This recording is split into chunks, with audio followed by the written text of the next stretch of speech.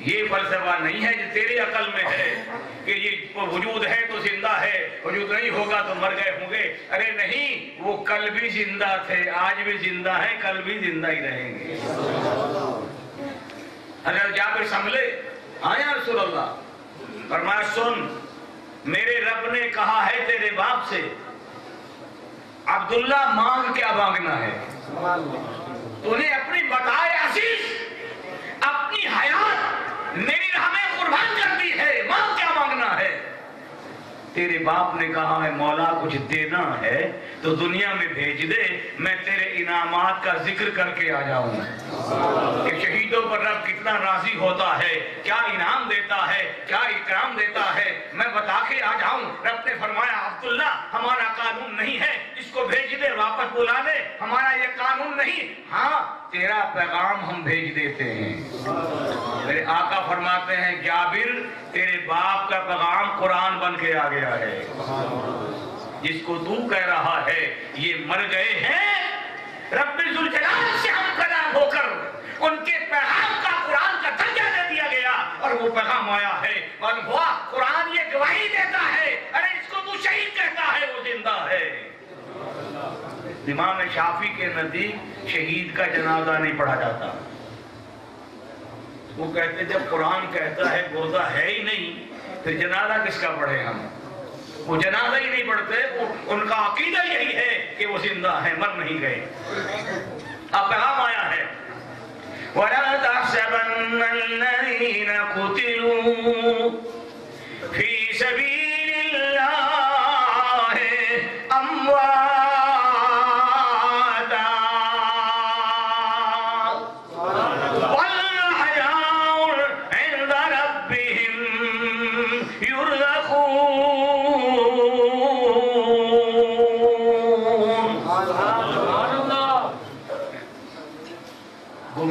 گمان کرنا کہ شہید مر گئے ہیں۔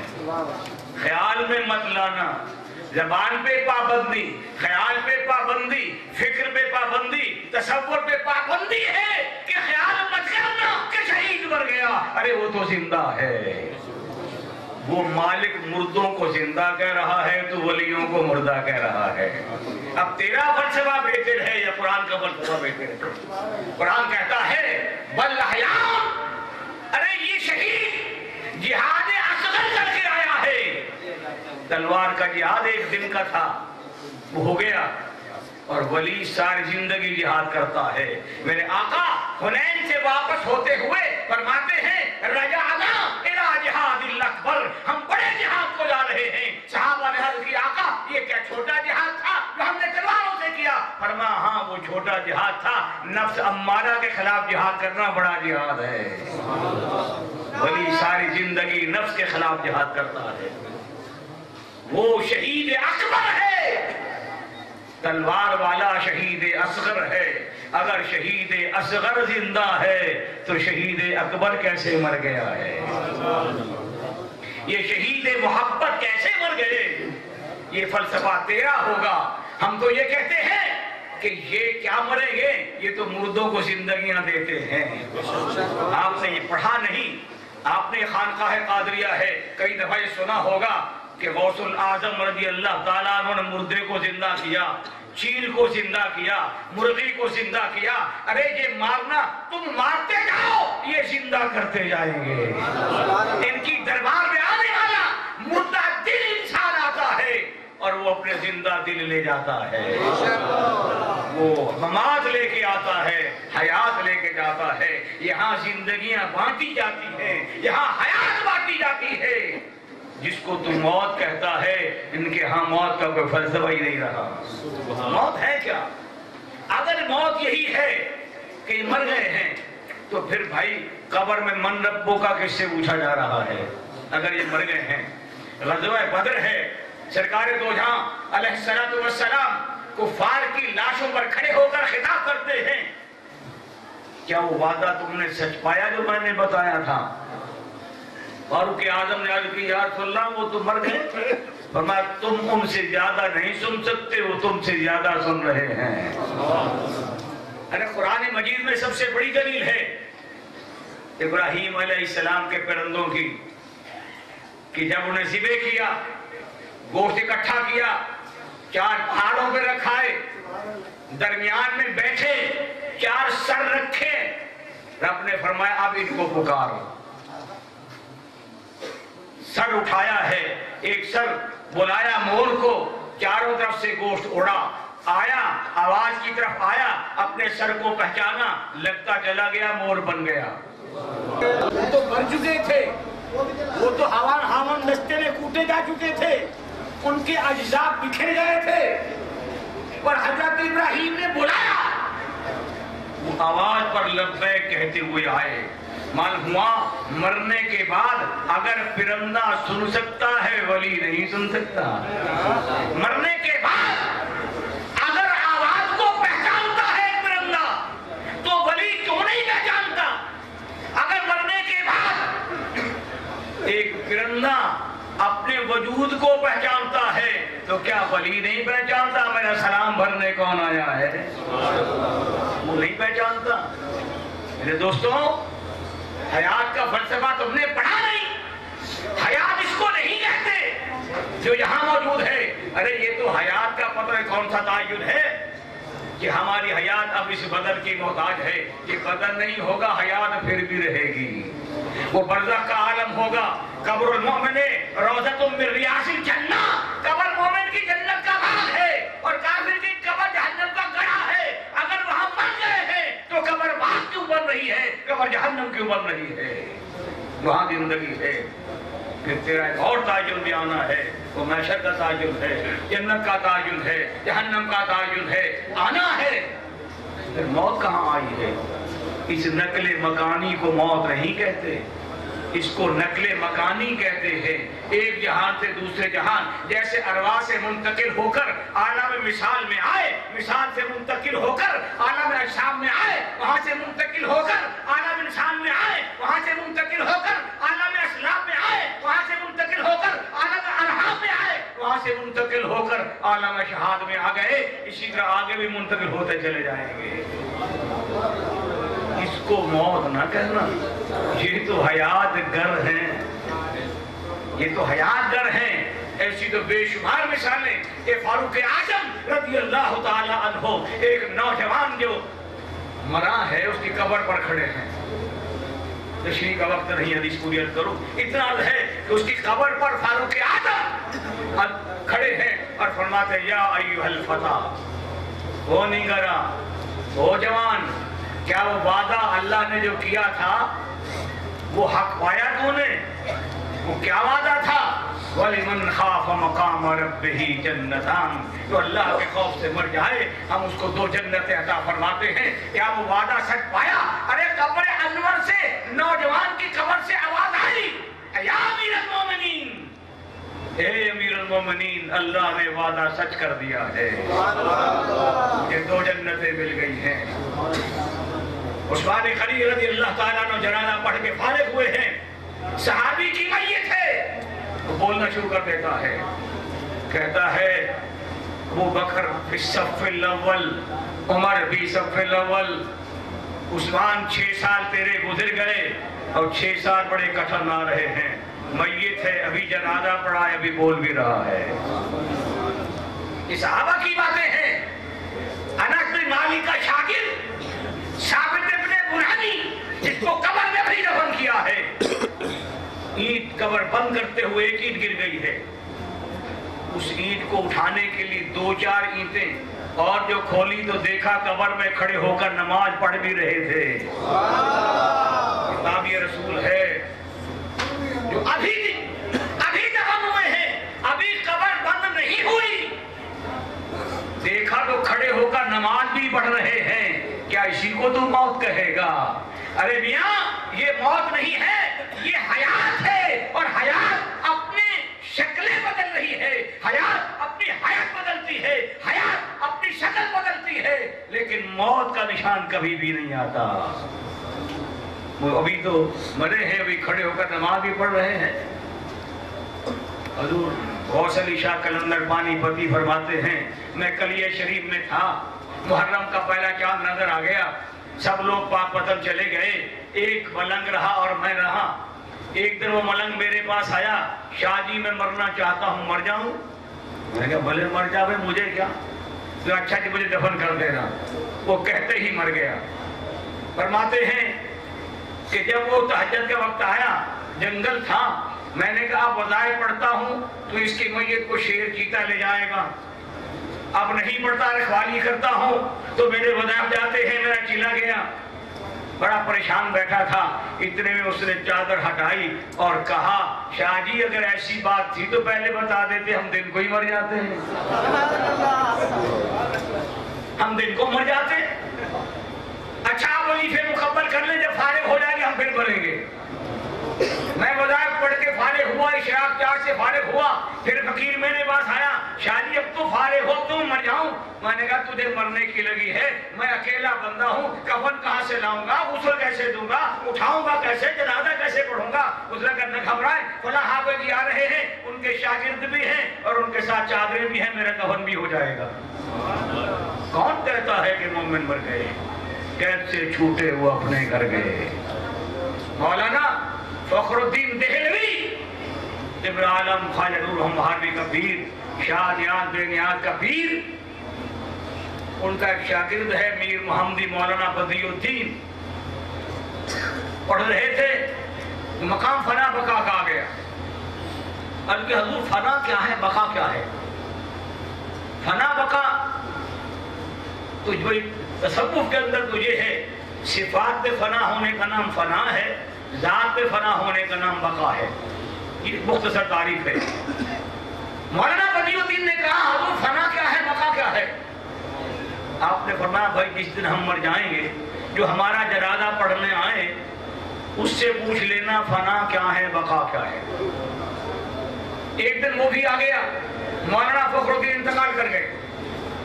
جنازہ رکھا ہے، شخص آیا، اونٹی پہ سوار، وہ اترا۔ سیدھا مسلح پہ آیا، نماز جنازہ پڑھائی دعا کی چل دیا۔ کسی نے یہ نہیں پوچھا کہ دیکھے تو صحیح ہے کون؟ چادر لپیٹے ہوئے تھے۔ میر محمدی کو یاد آیا کہ میں نے مسئلہ تو یہیں سے پوچھنا ہے۔ وہ گیا، وہ سواری پہ سوار ہو رہے تھے۔ اس نے جا کر پکڑ لیا۔ حضور میرا مسئلہ بتاتے جائیں۔ میرے پیر نے کہا تھا، جو میرا جنازہ پڑھانے آئے، اسی سے پوچھ لینا کہ فنا کیا ہے اور بقا کیا ہے۔ حضور یہ مسئلہ تو بتاتے جاؤ۔ آپ نے چادر ہٹائی تو مولانا فخر الدین تھے۔ ہکا بکا ہو گیا۔ حضور، اگر میت مولانا فخر الدین کی ہے، پھر آپ کون ہو؟ اگر آپ مولانا فخر الدین ہو، پھر میت کس کی ہے؟ فرمایا، جناب، وہ ہماری فنا ہے، یہ ہماری بقا ہے۔ ارے، بات ختم نہیں ہوئی۔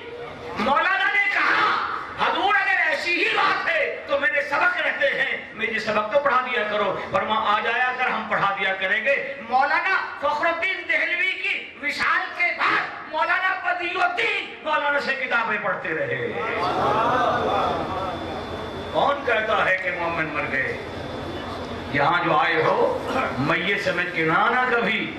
یہاں تو داتا بیٹھا جھولیاں بھر رہا ہے، جھولیاں پھیلا کے آئے ہیں۔ آپ کچھ لے کے جائیں گے۔ حضور خیرات دیں گے، شہزادہ غسل ورا خیرات دیں گے۔ خالی کوئی بھی نہیں جائے گا یہاں سے۔ مولانا امام بخش بہاروی گلشن ابرار میں ایک واقعہ لکھتے ہیں۔ فرماتے ہیں میرا غازی خان میں ایک دربار ہے شاہ حبیب اللہ صاحب کا۔ خاج امام بخش بہاری پوتا ہے ابر عالم کا۔ فرماتے ہیں کہ محرم کا چاند نظر آیا۔ بستی کے لوگ شاہ حبیب اللہ کے مجاور کے پاس آئے اور کہا، بھائی، ہم نے پاک پتن جانا ہے تو ہمارے ساتھ چلے گا. تو مجھے لیتے چلنا، بوڑھا آدمی ہو تمہارے ساتھ چلا جاؤں گا۔ وہ چلے گئے۔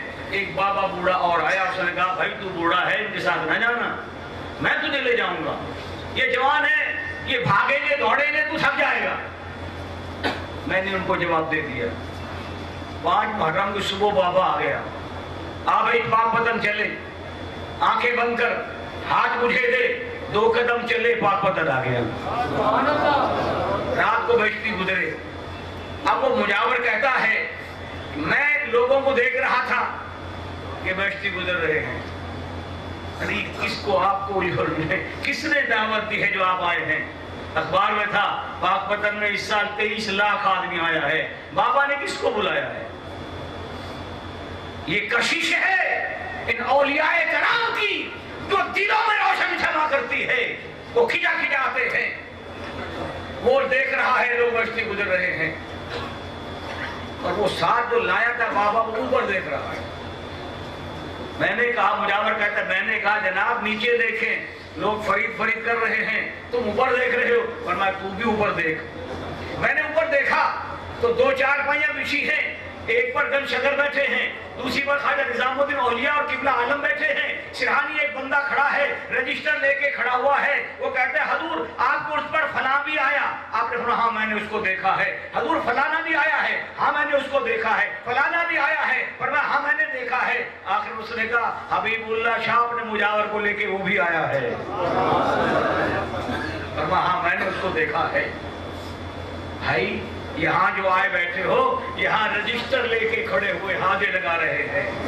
ان کی دربار میں حاضریاں لگتی ہے۔ ارے، جن کی حاضری ان کی دربار میں لگ گئی، میرے پار ہو گئے۔ یہ حیات بانٹنے والے ہیں، یہ موت بانٹنے والے نہیں ہیں۔ تم موت کے قائل ہو، تو سدا سلامت رہو۔ ہم تو حیات کے قائل ہیں۔ ہمارا نہ کوئی نبی مرا ہے، نہ ولی مرا ہے۔ ہم تو زندگی کے قائل ہیں۔ وہ آج بھی دنیا میں جس طرح اپنا فیض بانٹتے تھے اسی طرح آج بھی بانٹ رہے ہیں۔ آپ نے پڑھا میں نے کتاب میں دیکھا روس الاولیاء شاہ سکندر کیتھلی رحمت اللہ علیہ لاہور آئے اور اپنے غلام طاہر بندگی سے کہا لاہور میں اعلان کر دو جس کو بیٹے چاہیے وہ میرے پاس آ جائے۔ جس کو بیٹے چاہیے وہ میرے پاس آ جائے۔ فرماتے ہیں ایک دن میں سوا لاکھ آدمی آیا آپ نے سب کو بیٹے دیے۔ تو کہتا ہے، خدا کے سوا کو دے نہیں سکتا۔ تو نے وحدت پڑھی ہوتی، وحدت فنائیت اختیار کی ہوتی، پھر تجھے پتا چلتا کہ تقرب بالنوافل کیا ہے اور تقرب بالفرائض کیا ہے، فنا کیا ہے، بقا کیا ہے۔ ارے، یہ نہیں بولتے، کوئی اور بولتا ہے۔ تم نے پڑھا نہیں۔ پیر کامل صورت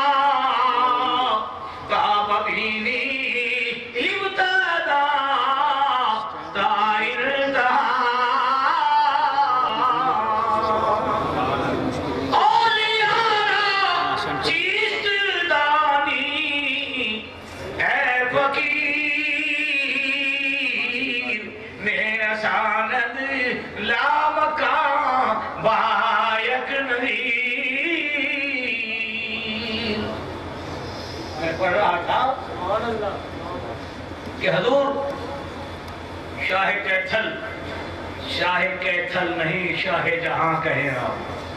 سارے دنیا کی بادشاہ ہیں۔ حضور کا گلستان سے گزر ہوا ایک میت کا جنازہ تھا۔ کسی نے کہا، حضور، اس کی خلافت کی دستار اور شجرہ گم ہو گیا ہے۔ آپ مہربانی فرمائیں، اپنا شجرہ دے دے۔ آپ نے فرمایا، بھائی، بغیر بیعت کیسے دے دوں؟ یہ بیعت کر لے تو دے دیتا ہوں۔ یہ کہنے کی دیر تھی، میت اٹھ بیٹھا۔ بیعت کی آپ نے شجرہ دیا اور آپ نے اپنے دستار دے کر دفن کر دیا۔ ارے، یہ تو وہ لوگ ہیں جن کی آواز پر مردے زندہ ہوتے ہیں۔ میرے حضور، سیدنا مہر شاہ رضی اللہ تعالیٰ عنہ کے پاس ایک شخص آیا، حضور، میرے بیٹے کو پھانسی کے آڈر ہو گئے۔ مہربانی فرماؤ۔ آپ نے فرمایا ماں کے بیٹے کو کوئی پھانسی شاسی نہیں ہے۔ اس نے کہا حضور کل چڑھ جائے گا۔ فرمایا نہیں ہے۔ دوسرے دن پھانسی چڑھ گیا۔ میت چار پائی پہ آ گئی، ڈاکٹر نے چیک کر دیا، رپورٹ دے دی۔ اٹھا کر جا رہے تھے، راستے میں اٹھ بیٹھا۔ وہ پیدل چل کے گھر گیا۔ ارے، ان کی آواز میں لبیک ہوتا ہے، یا بولتے یہاں ہے تقدیر وہاں حل ہوتی ہے۔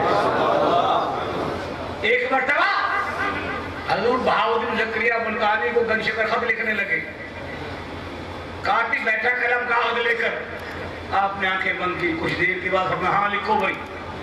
شیخ الاسلام والمسلمین بہاء الحق و شراوت والدین۔ اس نے کہا، حضور یہ پہلے لکھوا دیتے۔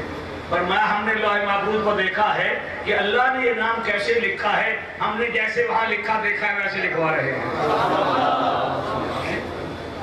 اور یہ وہ کیا سمجھتا ہے؟ ان کی نگاہیں کیا سمجھتا ہے؟ یہ کیسے لوگ ہیں؟ ارے پوری کائنات ان کے سامنے ہوتی ہے۔ لوح محفوظ است پیش اولیاء۔ تو کیا جانتا ہے؟ تو یہ وہ اولیاء کرام ہیں کہ جن کے دروازے پر آنے والا کوئی خالی نہیں جاتا۔ کوئی خالی نہیں جاتا۔ کہ وہ جھولیاں پھیلا کر آئے، وہ جھولیاں بھر کے ہی جاتے ہیں۔ صرف شرط یہ ہے کہ نیت درست کر کے آپ دیکھ خیرات ملتی ہے کہ نہیں ملتی ہے؟ اولی دوستوں، اس لیے میں نے عرض کیا آپ سے کہ آپ یہ سمجھیں کہ آپ کی حیات کیا ہے؟ آپ مردگی میں نہ چلے جائیں کہ مر گئے ارے ہم تو کب سے زندہ چلے آ رہے ہیں ہم نے جہاز بدلے ہیں ہم نے عالم بدلے ہیں اب بھی ایک عالم میں بیٹھے ہیں پھر عالموں میں چلے جائیں گے نہ پہلے مرے تھے نہ اب مرے ہیں۔ مرے گے مرے تو وہ جن کا عقیدہ مرنے کا ہے۔ ہم تو موت کے قائل ہی نہیں سرے سے۔ ہم تو حیات کے قائل ہیں۔ ہم تو نقل مکانی کے قائل ہیں۔ کہ وہ اس جہان سے چلے گئے، لیکن مر نہیں گئے۔ ارے وہ زندہ ہیں۔ آج آپ نے نیٹ دیکھا ہے۔ زہیر ابن قیس صاحب یہ رسول ہے اس کی میت باہر نکلی ہے۔ اب دیکھا آپ نے کہ ان کو کوئی زخم ہوا ہے۔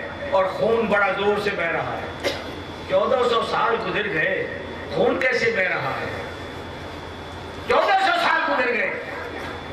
حضرت عمر بن جمو، عمر بن عبداللہ انصاری، جبل احد کے اندر ان کی قبر چالیس سال کے بعد کھولی گئی۔ اسی طرح تر تازہ سو رہے تھے۔ یہ حیات ہے۔ بل حیاؤن عند ربہم یرزقون۔ ارے وہ زندہ ہیں۔ اور اللہ کے ہاں رزق کھاتے بھی ہیں، پیتے بھی ہیں، لیکن وہ رزق کیسا ہے؟ وَلَاكِ اللَّهَ تَشْعُرُونَ تجھے ان کا شعور نہیں ہے، وہ کیسا رزق کھاتے ہیں؟ زندگی تو بھائی ہر چیز میں ہے۔ اس طرح ہنانا لکڑی سوکھی ہے۔ سرکار نے آج پیٹ مارا ہٹائی ہے، وہ رونے لگ گیا۔ وہ مٹھی کنکریاں لے کے بیٹھے ہیں جو کلمہ پڑھنے لگ گئی پتھر میں حیات، لکڑی میں حیات، ارے کائنات کے ذرے ذرے میں حیات ہے، تو کس کس کو مارے گا؟ پوری کائنات میں حیات روا دوا ہے، اور کسی کو موت نہیں ہے۔ وہاں موجود ہے، قرآن کہتا ہے، آپ کہتے ہو، پتھر غیر زمین اقول ہے، پتھر غیر زیرو ہے۔ قرآن کہتا ہے زمین اقول بھی ہے، زیرو بھی ہے۔ کیسے؟ ثم قست قلوبكم من بعد ذلك فهي كالحجارة أو أشد قسوة. وإن من الحجارة لما يتفجر منه الأنهار.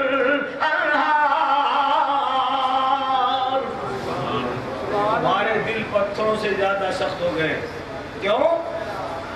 کہ تمہارے پتھر جو ہیں وہ روتے ہیں تو نہریں بہا دیتے ہیں۔ پتھر کا سینہ پھٹتا ہے، چشمے بہا دیتا ہے۔ وَإِنَّ مِنَ الْحِجَارَةِ لَمَا يَشَّقَّقُ وَيَخْرُجُ مِنْهُ الْمَاءُ۔ ارے، ان کا سینہ پھٹ جاتا ہے، وہ چشمے بہا دیتا ہے۔ وَإِنَّ مِنَ الْحِجَارَةِ لَمَا يَشَّقَّقُ وَيَخْرُجُ مِنْهُ الْمَاءُ۔ وَإِنَّ مِنَ الْحِجَارَةِ لَمَا يَهْبِطُ مِنْ خَشْيَةِ اللَّهِ۔ بعض ایسے پتھر ہیں جو بلندیوں سے لڑکتے لڑکتے تہے زمین پہ آتے ہیں۔ کیوں؟ من خشیت اللہ۔ اللہ کے خوف سے۔ ان کا دل ڈر جائے تو پتھر رو کر پانی مہیا کر دے۔ اے انسان، تیرا دل تو ان سے بھی زیادہ سخت ہے۔ تو قرآن نے ثابت کر دیا کہ پتھر میں بھی جان ہے۔ مولا کائنات کے بھائی عقیل ابن ابی طالب روایت فرماتے ہیں، میں سرکار دو عالم علیہ السلام کے ہمراہ تھا۔ مجھے پیاس لگی۔ میں نے عرض کی آقا پیاس لگی ہے۔ ہمیں اس پہاڑ کو جا کر میرا سلام دے دو اور اسے کہو، تیرے دامن میں میرے آقا تشریف فرما ہے، پانی مانگتے ہیں۔ حضرت عقیل گئے، پہاڑ کو سلام دیا۔ پہاڑ نے رو کر جواب دیا، کاش مجھے خبر ہوتی، میرے آقا میرے دامن میں آنے والے ہیں، چند آنسو قطرے بچا لیتا۔ وقود الناس والحجارہ، جب میں نے آیت پڑھی ہے اتنا رویا ہوں کہ اب میرے پاس کوئی قطرہ آنسو کا نہیں بچا۔ سرکار دو عالم علیہ السلام نے رپورٹ سونی پہاڑ کی۔ زمین کو حکم دیا، چشمہ نکل آیا۔ اتنے میں ایک اونٹ دوڑا ہوا آیا۔ اور آ کر حضور کی گود میں سر رکھ کر رونے لگ گیا۔ اپنی بپتا سرانے لگ گیا۔ اتنے میں ایک آرابی پیچھے تلوار لے کے آ گیا۔ آپ نے فرمایا آرابی سے کیوں ذمہ کرتا ہے؟ یا رسول اللہ میں نے بڑی چاہوں سے خریدا تھا۔ اور یہ میرا آج وزن نہیں اٹھاتا، مجھے کاٹنے کو دوڑتا ہے۔ میں نے سوچا اسی لے کر کے گوشت بیچ دوں جو کچھ قیمت تو لوٹ آئے گی۔ فرمایا، پھر تو نے اس کی سنی ہے، یہ کیا کہتا ہے؟ نہیں رسول اللہ، فرمایا، یہ کہتا ہے، جس طرح میں اس کی مملوک ہوں، یہ میرا مالک ہے، میں اس کا کہنا نہیں مانتا۔ اور یہ مجھ پہ ناراض ہوتا ہے۔ آقا، اس کا بھی کوئی مالک ہے، یہ بھی اس کا نافرمان ہے۔ یا رسول اللہ! شخص اپنے مالک کی فرما برداری کا وعدہ کر لے تو آقا میری ضمانت بھی دے دو، میں کبھی نافرمانی نہیں کروں گا۔ آقا یہ نماز نہیں پڑھتا۔ فرمایا آرام سچ بتا۔ اونٹ سچ کہہ رہا ہے کہ غلط؟ آپ کا سچ کہہ رہا ہے، میں نماز نہیں پڑھتا۔ فرمایا، جا، تو پانچ وقت نماز پڑھ، اپنے رب کا فرما بردار رہا رہے اور یہ تیری نافرمانی کرے، مجھے آ کے پکڑ لینا پھر۔ جانور بھی نافرمان سے کتراتا ہے۔ پر ان کی بارگاہ یہ ہے کہ جہاں جو آتا ہے ارے کج رو دل بھی سیدھے ہو جاتے ہیں۔ کج اخلاق لوگ بھی سمجھ جاتے ہیں۔ یہ بیٹھے اس لیے ہے کہ ان کی دربار میں آنے والا معروف نہیں جاتا۔ ہرما نصیب نہیں ہوتا۔ آنے والا دامن مراد بھر کر جاتا ہے۔ حضرت سیدنا پیر مہر نشاہ رضی اللہ تعالیٰ عنہ کھڑے تھے بشتی گزرنے کا وقت تھا ایک مولانا آئے۔ اس نے کہا، جناب، آپ اتنے بڑے عالم ہو، آپ بھی بشتی گزرنے آئے ہو۔ آپ نے فرمایا ہاں اس کا جواب دیں گے۔ یہاں سے ہم نے کھڑا رہے اور گنبا کے قرض کو دیکھتا رہے۔ ہم واپس آئیں گے اور تجھے سوال سوال کا جواب دیں گے۔ جب حضور بشتی گزر کے آئے تو پوچھا، مولانا تو مشاہدہ ہوا؟ حضور جب آپ بشتی کھول رہے تھے گنبد کے کلش دور سے گھوم رہا تھا۔ فرمایا، تجھ سے تو گنبد کے کلش بھی اچھا رہا۔ جب سرکار دو عالم تشریف لائے تھے، استقبال میں وہ گھوم رہا تھا۔ اور پھر علم میں جواب دیا۔ فرمایا، کیا تو نے یہ پڑھا ہے حدیث میں؟ قبر المومن روزہ تم من ریاض الجنہ مومن کے قبر جنت کا باغ ہوتا ہے۔ پڑھی حدیث جی ہاں پڑھی ہے۔ فرمایا پھر باغ کی اچار دیواری بھی ہوتی ہے جی ہوتی ہے۔ اس کا کوئی دروازہ بھی ہوتا ہے جی ہوتا ہے۔ فرمایا ہم اس دروازے کو جنت کا دروازہ سمجھتے ہیں اور قبر فرید کو ہم جنت کا باغ سمجھتے ہیں۔ ارے آج یہاں آنے والوں بارگاہ کیتھلی میں دربار میں حاضری دینے والوں، یوں نہ سمجھو میرا غازی خان گئے، یوں سمجھو ہم جنت کے دروازے میں گئے تھے جنت کی کیاری میں گئے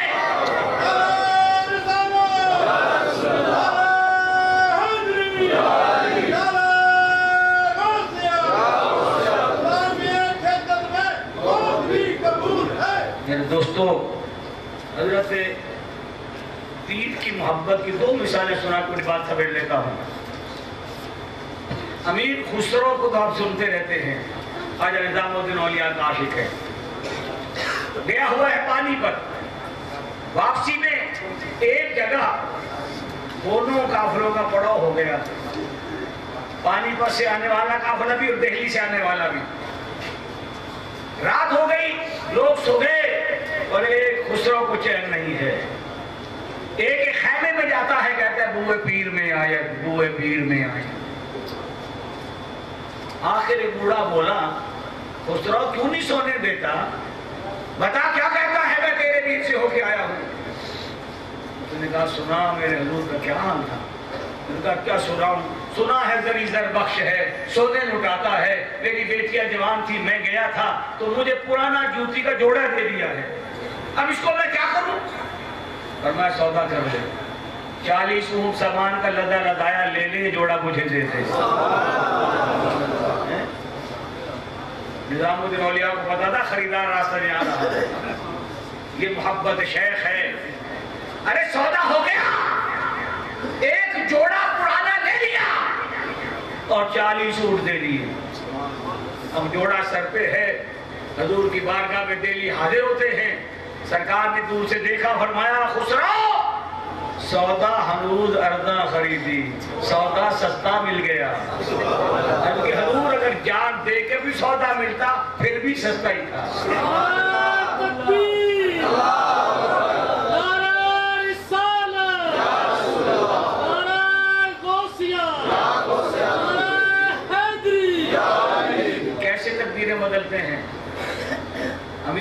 امیر خسرو کو ماں نے سرسوں کے پھول دیے۔ بسنت کا بیلا تھا۔ جاؤ بدھ خانے چڑھا کے آؤ۔ اس نے بدھ خانے کہاں جانا تھا؟ وہ تو اپنے سنم خانے گیا۔ تلاش کرتے کرتے دیکھا حضور ایک ٹیلے پر بیٹھے ہیں۔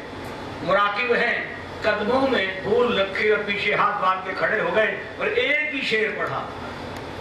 عرب یار، میں توری بسنت مناؤں رے۔ بلترا شیر ہے۔ عرب یار میں توری میں توری بسنت مناؤں رے عرب یار میں توری بسنت مناؤں رے سرکار نے آنکھ کھولی دیکھا خسرو کھڑا ہوا آنسو بہا رہا ہے سرکار کھڑے ہو گئے ادھر بھی آنسو جاری ہو گئے ادھر بھی آنسو جاری ہو گئے میلے کا دن تھا ایک گزرا دوسرا گزرا تیسرا گزرا رکتے چلے گئے سمجھ نہیں آتا یہ کیوں رو رہا ہے وہ کیوں رو رہا ہے ارے رکتے رکتے سارا دلی جمع ہو گیا۔ ٹھٹ لگ گیا۔ وہ یہ رو رہے ہیں۔ جب دیکھا سارا دہلی جمع ہو گیا۔ محبوب الہی نے دیکھنا شروع کیا۔ ادھر دیکھتے جاتے تھے لوگ کلمہ پڑھتے جاتے تھے۔ ایک آن آج میں سارے دہلی کو کلمہ بڑھا دیا۔ یہ وہ لوگ ہوتے ہیں۔ ان کی نگاہوں سے بچو نہیں ان کی نگاہوں میں آ جاؤ۔ ان کی نگاہوں میں آؤ گے مردہ دل زندہ ہو جائیں گے۔ یہ مرے ہوئے نہیں ہیں۔ پیر سیال نے شمس العارفین نے بیرم العاشقین میں لکھا ہے کہ جب خسرو کا جنازہ آیا، شاہ رخ نے عالم مسلح امامت پر آئے، تو شاہ رخ نے عالم کے منہ سے یہ بات نکلی۔ کیا کرے یہ بنتی تھا؟ یہ تو نہیں چاہتا پر وسیعت ہے خواجہ نظام الدین اولیاء کی، جنازہ پڑھنا پڑے گا۔